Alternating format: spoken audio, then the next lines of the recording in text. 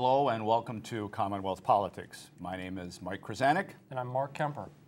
Today we're uh, in the heart of the national and state election season here, and uh, we're privileged today to have uh, uh two individuals who clearly have a handle on both national and state politics and will be able to give us some insights uh, into the presidential election and also the election for uh, United States Senator.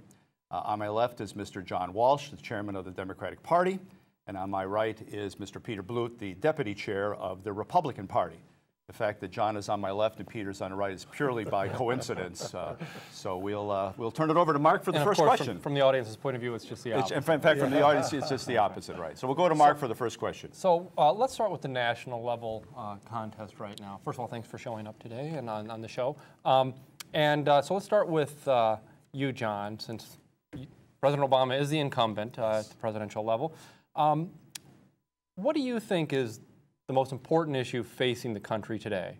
that needs to be addressed in the next four years? And why do you think the American people should vote for President Obama? Well, I think that most voters would agree that the most important issue uh, facing the nation is the economy, and most particularly jobs, the impact that that has on individuals and families, and the impact it has on our nation as a whole. Um, as President Obama uh, was inaugurated, um, we found ourselves in the worst economic situation that our country had faced since the Great Depression. Uh, in fact, we were losing seven to 800,000 jobs per month um, as, as uh, the president began his term.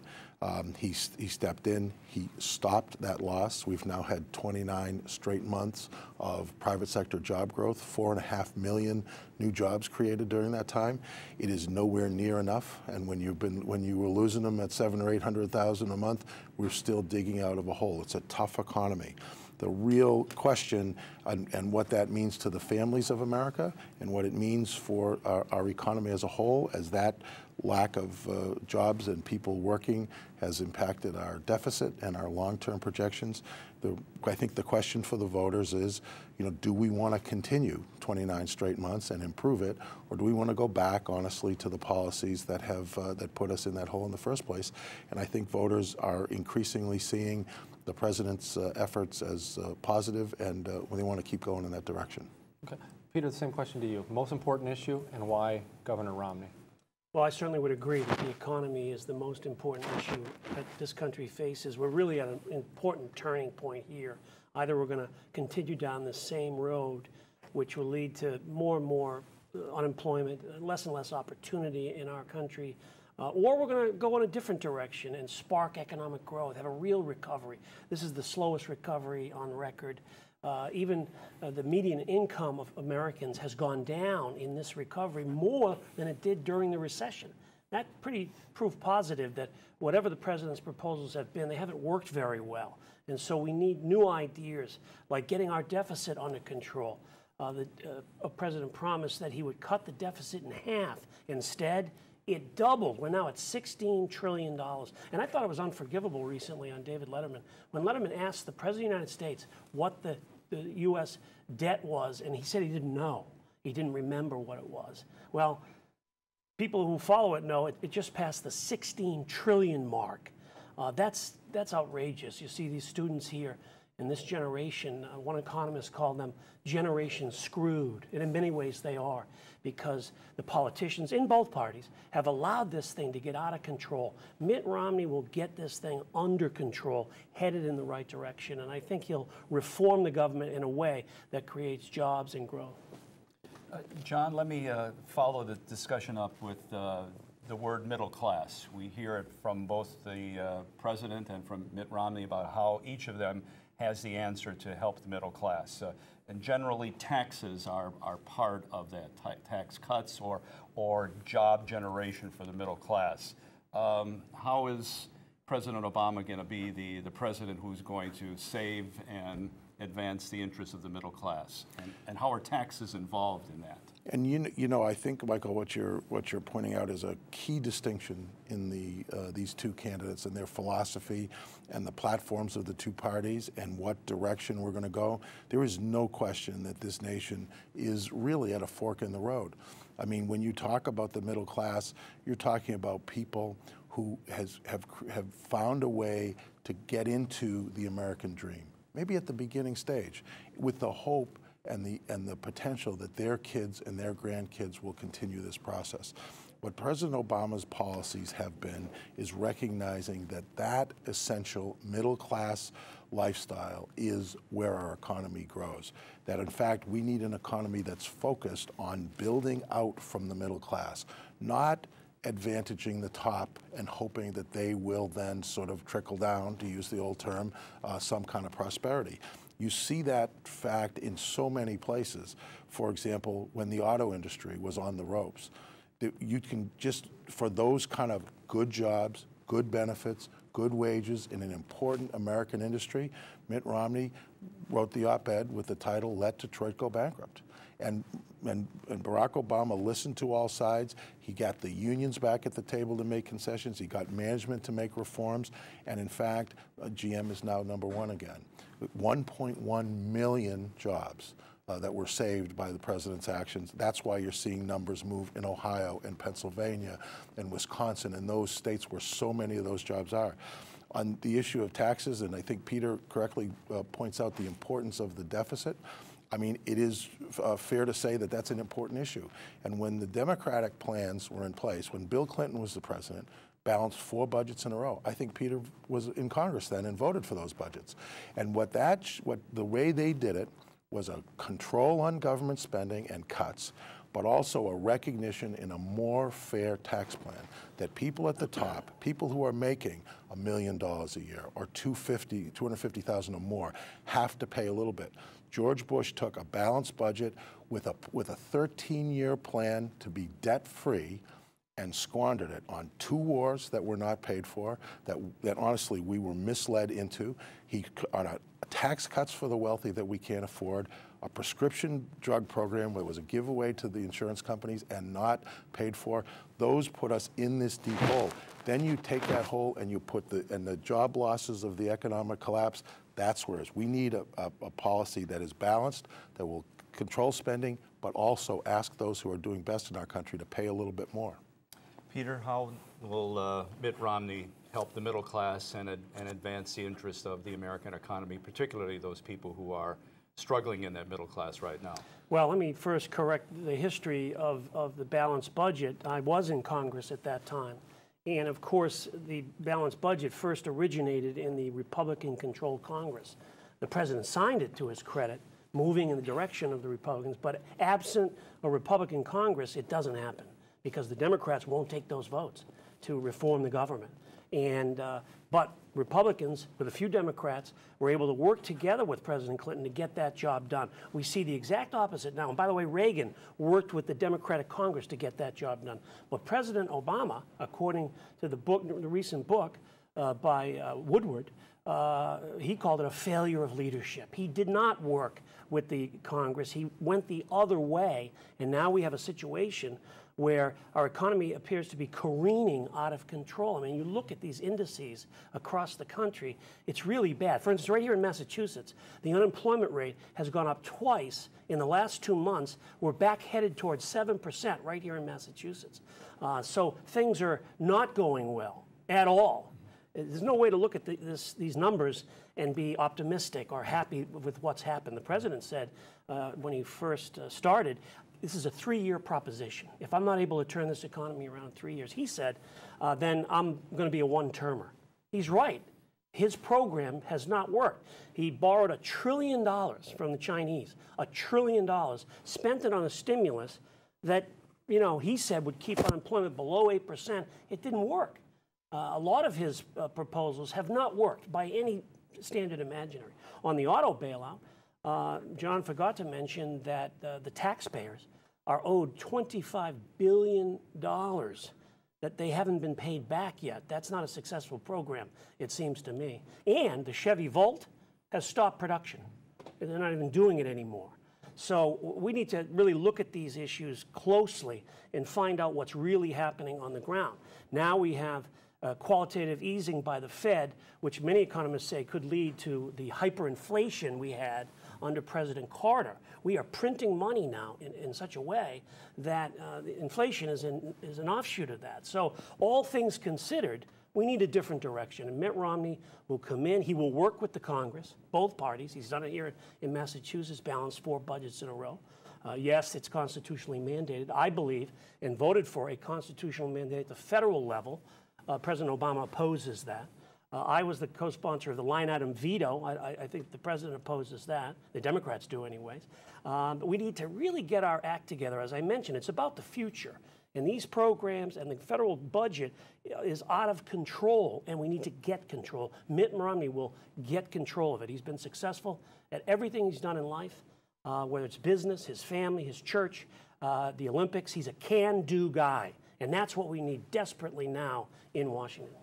I mean, just want to add just one thing because I think Peter is a very articulate spokesman for a time when he was in Congress. But I don't hear a lot describing how that has anything to do with Mitt Romney. The ability In to work together, John. No, no, but the I, ability understand, of the I understand. president to sit down but, with but in order for the the other party in order for and the work it out. whether it's Clinton or it's Reagan, to be successful. I mean, I I st- I have done repeatedly applaud you. When you were in Congress, you voted for the tax increases that Pr- President Clinton put on the table, and those revenues to to get that rate to the top earners to 39 percent.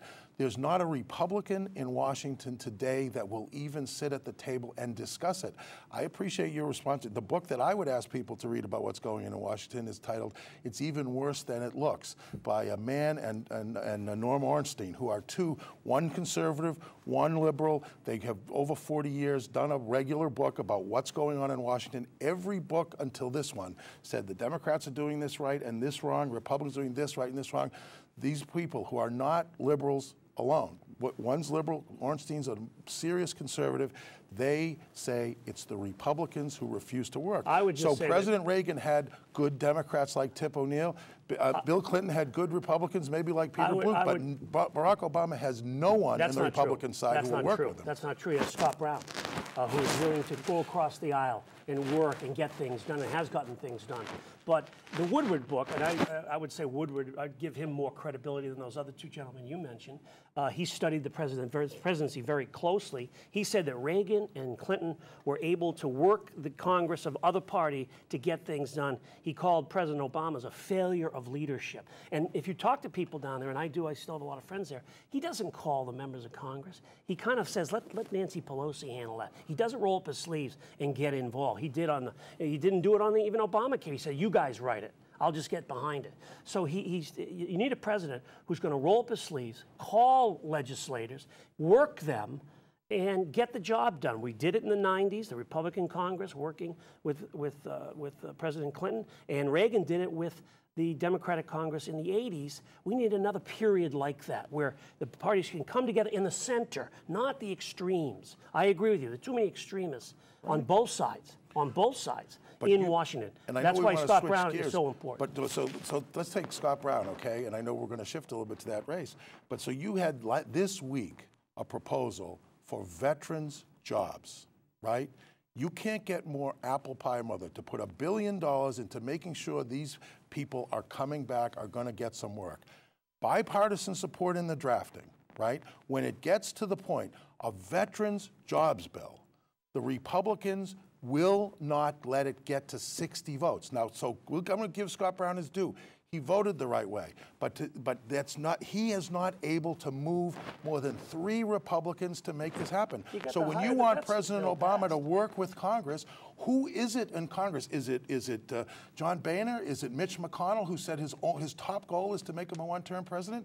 It is what what Obama has accomplished with a Congress whose principle is obstruction, is to get 29 straight months of private sector job growth.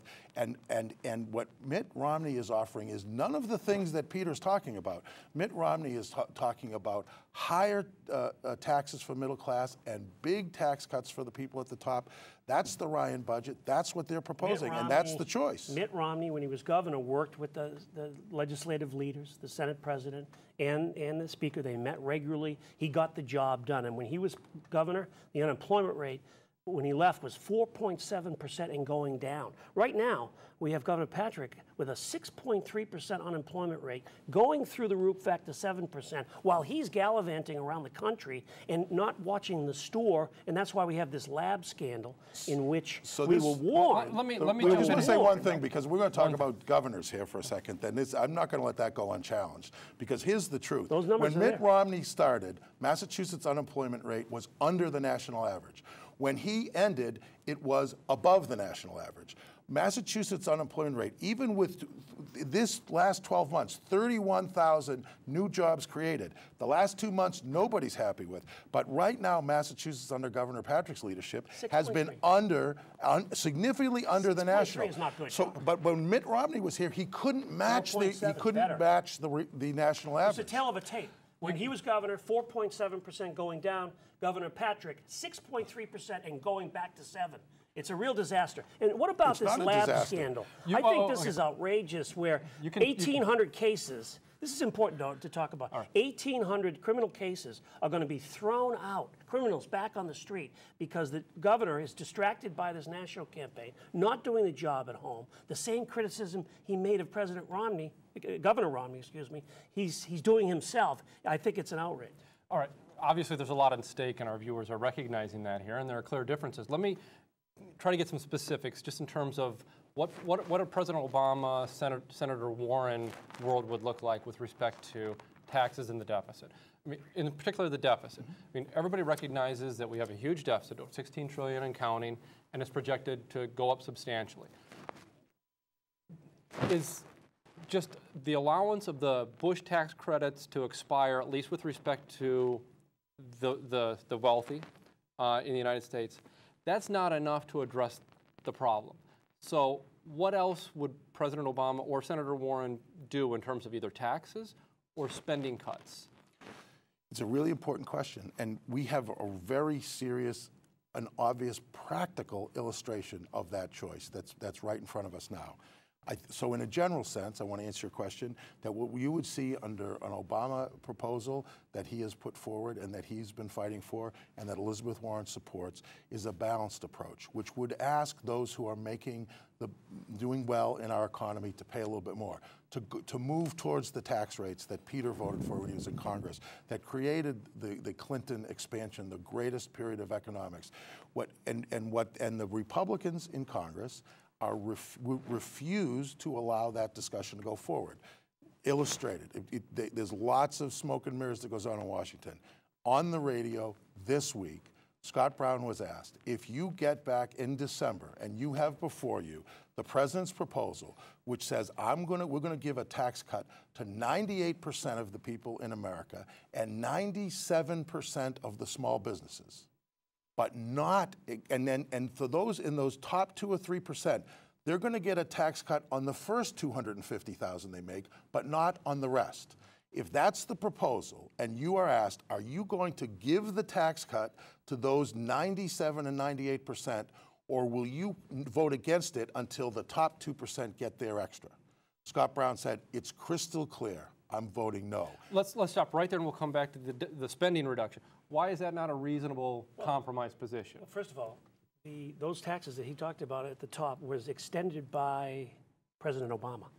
He signed the law that extended them. Why did he do that, I wonder? in order to get anything through the congress is why Oh, I see. But uh, he extended and- them. He extended them. So we can't, you can't pin that on. on Oh, on we- I'm gonna pin it on you every but, minute. But look at the deficit. Who's serious about the deficit?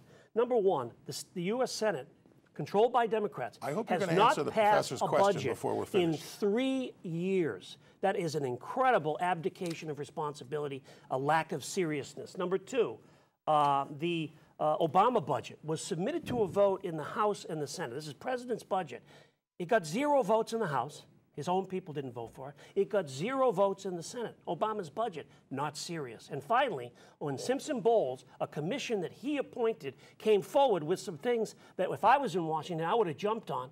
To save our country, to save this next generation at Bridgewater State University, generation screwed because we've let this thing careen out of control, I would have voted for Simpson Bowles. He rejected his own deficit commission. So eh, the question of who's serious about deficit reduction, and then ultimately the other night when he was asked what the de- deficit was, the debt was, he didn't know. He said on Letterman he didn't know, which is, um, you know, ah, you, I want to scream. I was a member of the Concord Coalition with Senator Paul Tsongas. We knew what the debt was, and we wanted to get it under control. So finally, you want to talk about taxes. Um, President Obama extended all of those taxes, including on the wealthy. He had a chance to not do that, and he did, which tells us something, uh, number one. And number two, everybody, including President Clinton, said you don't raise taxes during tough economic times on anybody. You just don't do it. We, are in, a, we're in a, a very, very difficult economy. Uh, as Justice Marshall once said, the power to tax involves the power to destroy. And we would be destroying jobs across this country in the middle of this recession if we raise taxes on everybody. Let's hold the line on taxes, but cut spending. Show that we're real on cutting spending and reforming the government's programs. Then, and only then, would it be legitimate for people to come forward and say, okay, now let's look at the revenue side. So I'm going to be brief in my response because I want to allow you to go back and ask him to answer your question, which is what is unreasonable about the president's proposal right now. But if you want to cite Bill Clinton as the authority, let's all let's stipulate to that. I agree, and I would urge people to watch his speech at the convention. He's the explainer in chief for this administration and explains that the proposals that the Democrats and Barack Obama are putting forward are the kind of proposals that he put forward and that succeeded. And what is what Mitt Romney and Paul Ryan are putting forward is a reboot to the George W. Bush and a double down on higher tax cuts for the wealthy that has never worked. And the real question, Peter, is not whether when you were in Congress things were better. We it was better because we had a Democratic president and Republicans who would vote for reasonable tax rates. We have a great president right now and nobody on the Republican side, and you won't answer the question why won't we? Why isn't the did. president's proposal for the tax cuts for everybody? I just did because and, but uh, extending let me the answer extra. the question. Just as President Clinton indicated that the middle of a lousy economy was not the time to raise taxes on anybody. He opposes raising taxes on the upper end right now because it would definitely kill jobs and further exacerbate this bad situation. That's President Clinton who said that uh, just a couple of months ago. Well, I was so, with him last week in Charlotte, and that's not what he said. What he said is that the Romney proposals are a disaster for our country, and, the, and Barack Obama should be reelected. It was to a good continue speech his in the convention. Well, let's, let's get to the second Let me, yeah. question. Oh, Can I Go ahead, you jump No, in, I. I just want we've got about four four and a half minutes here, and I want to cut to the chase here about the, the senatorial campaign. Uh, Peter, give us uh, the reasons why the voters of Massachusetts should vote for Scott Brown, and I'll give you an opportunity to talk about Elizabeth Warren. Why should the voters of Massachusetts vote for Scott Brown for U.S. Senate? Well, first of all, he's in his two years of being there, he's been a great U.S. senator for Massachusetts. He's worked his tail off. He has been independent like he promised. He kept all his promises. And I think he's the type of senator we need. The last thing we need is another highfalutin senator jetting off to Davos, Switzerland. We already have one of those. His name's John Kerry. We don't need two of them. We need somebody on the ground working with the people to, to, to represent Massachusetts. He's the only senator, he's the most independent senator in the country, number one, by all accounts. Number two, he's the only one who's gotten anything done. Two of the uh, programs to create jobs that Obama did sign were Scott Brown's. The Hire a Hero, which gives tax credits for companies who hire veterans returning from Afghanistan and Iraq, and also the 3% withholding for small businesses doing business with the federal government. That's a definite job creator, very good for small business. And he's gotten other things done, like the insider trading ban, which uh, he met with the president on the State of the Union. I thought this was a great example of his effectiveness. He pinned the president down and said, it's on Harry Reid's desk. Get to Harry Reid to pass this thing.